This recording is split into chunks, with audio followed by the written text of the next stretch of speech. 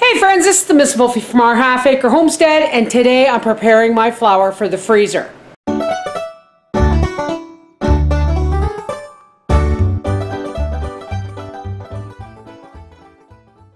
Now, I have already pre-frozen my flour. Why do I freeze my flour? To kill any potential weevil eggs.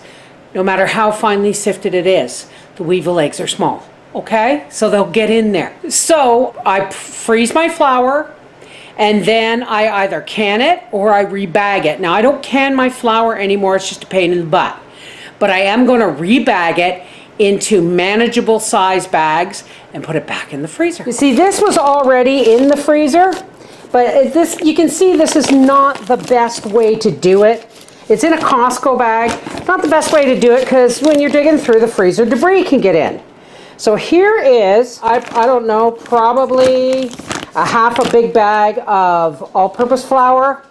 And here is a uh, 25 pound bag of Boreal organic flour.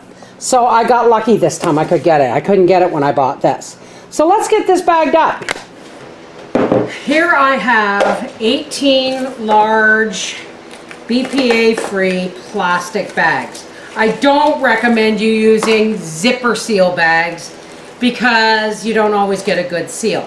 Now this is about the size of my flour can. And the reason I'm doing this is so that whenever I need flour or I'm getting low, I can just reach into the freezer and grab one of these bags of flour and then just dump it in my flour tin. And never will weevil eggs hatch because they've been frozen. So let's see how many cups one of these bags holds. Approximately two, four, six, eight,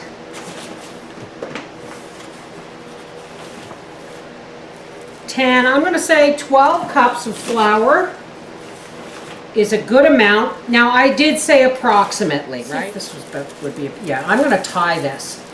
Whatever I do, whatever I'm going to bake with, I'll be measuring it anyway, right?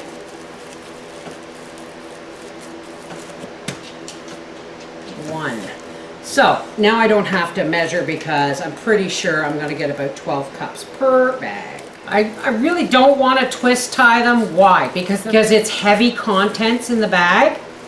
So a twist tie, if shifted around, uh, a bag with heavy stuff in it, if shifted around, the twist tie can come undone very, very easily.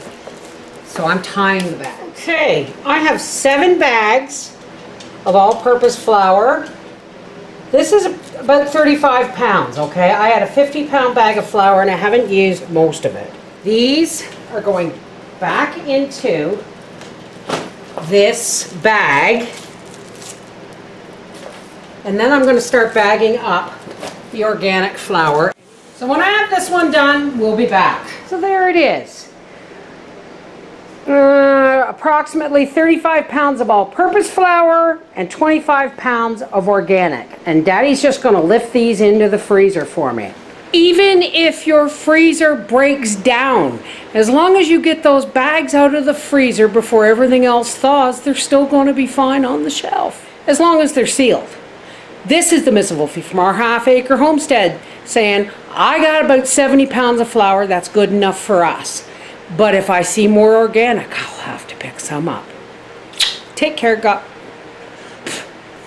God bless.